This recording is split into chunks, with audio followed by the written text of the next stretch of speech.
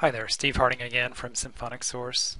You may be familiar with the DupeCatcher override feature, the feature that allows you to bypass a blocked duplicate and insert it into the Salesforce org. In this video, I want to go over some configuration settings that in some cases you may need to set for override to be available for all of your users.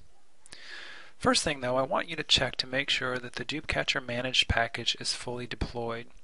This is a common issue and fully deploying the package can solve a lot of problems. Go to Setup, View Installed Packages, and DupeCatcher.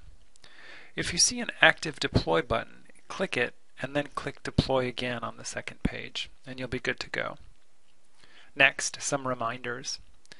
Override only functions with Salesforce Enterprise Edition and higher, as it relies on the Salesforce API. Further, the Override button only appears for DupeCatcher filters that are set with a matching action of Do Not Insert or Do Not Update. Remember, this action blocks the duplicate but keeps the user on the record edit page. And lastly, the Override button only appears on Insert when you actually click Save or when saving changes from the edit screen.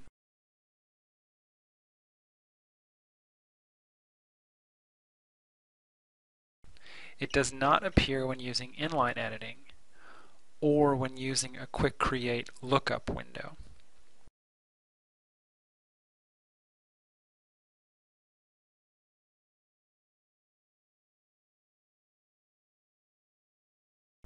Now to the settings.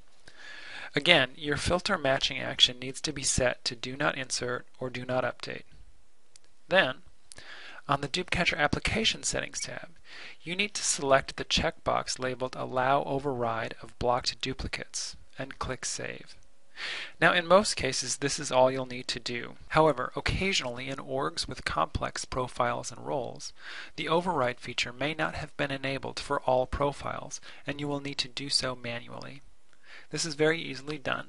Go to Setup, App Setup, Develop, Apex classes, and find the override triggers for edit page, and you'll want to click on the security hyperlink.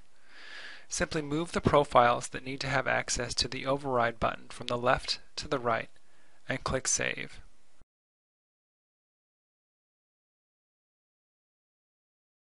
You'll also want to make sure that the API is enabled for all relevant profiles. This is easily done by going to Setup, Administration Setup, Manage Users, Profiles. Select a profile and scroll down to the administrative permissions to verify that the API is enabled. And if not, click Edit and enable the API for this profile. It's as simple as that.